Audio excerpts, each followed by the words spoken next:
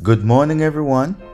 Welcome to our morning inspiration, Friday, August 9, 2024. Our reading today comes to us from Micah chapter 2, reading from verse 1 to 3. And it says, Woe to them that devise iniquity and work evil upon their beds. When the morning is light, they practice it, because it is in the power of their hand. And they covet fields and take them by violence, and houses and take them away.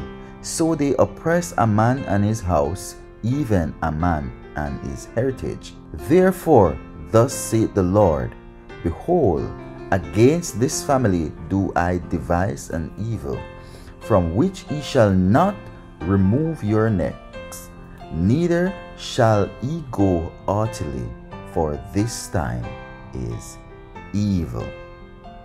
Amen. We give God thanks this morning for His Word. And this is a very stern warning and a very serious message to those who are bent on doing evil, those who are set in their ways on a course to constantly do evil, right? And not just do it, but those who practice, who think it up, and then put it in, in motion. It says, Woe to them. And when the Bible uses the word woe, you know it's a very serious situation. It says that them that devise iniquity and they what? Think up evil. It used the word here beds in their beds, but it could be summarized or used whenever they think of evil. So it doesn't have to be when you're in your bed lying down. It just use that as one of the scenario. But it's speaking about anyone that think of evil wherever you are and at any point in time. And then put those evil thought that you have thought of in motion. And it gives some examples. Stuff like coveting someone's feel or coveting someone for what they have and then take it away from them in violence.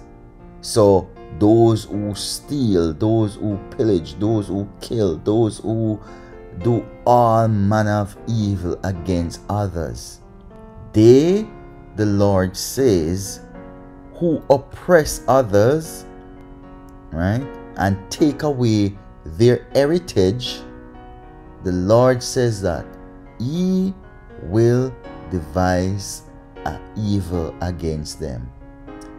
In other words, He's saying that He is going to punish them for what they did or for what they are doing.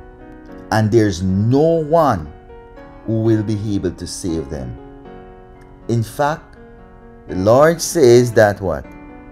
He will not remove their necks. So, in other words, He will not take away the punishment. So, whatever the consequences that that situation bring, you will receive it. Because what? Because of what you have done. And one thing we should understand when the Lord draw us up, we are really draw up because there's no one else who can snatch us from his hand. Right? So whatever punishment we will receive or should receive from what we have done or from what we are doing, we will receive it. But you know, it is so interesting that the Bible say this because when you think about all that is happening out there in the world today.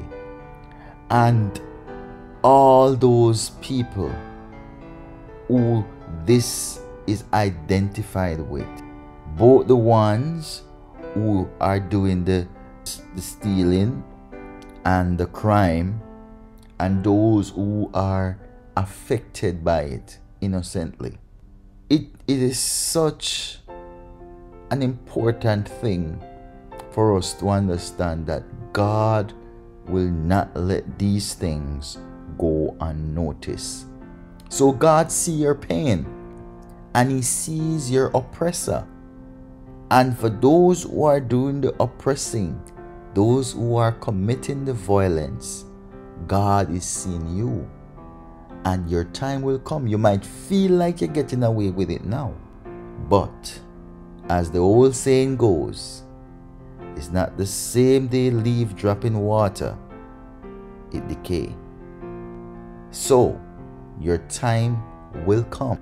And my recommendation to you will be this repent and change before your season come because it's going to be unbearable for you that's a promise because God is watching and recording everything that you are doing. And so, for those who are being oppressed, those who are being affected, this is also a message for you to take comfort that God is at your defense. He will come to your defense. And that's why the psalmist say that what? Vengeance is mine, say the Lord. And what? I will repay. So, evil does pay, but is not a price or a reward that we are willing to receive. But it pays. Because when you commit evil, you got to live with the consequences, or you got to receive the consequences. The consequences is your pay. And so this morning, I encourage all of us anything that we are thinking of in our hearts and our mind to do that we know is not right, desist from doing so because the Lord is watching you. He's watching all of us. Let us make the choices that will bless and glorify His name. Amen. Amen.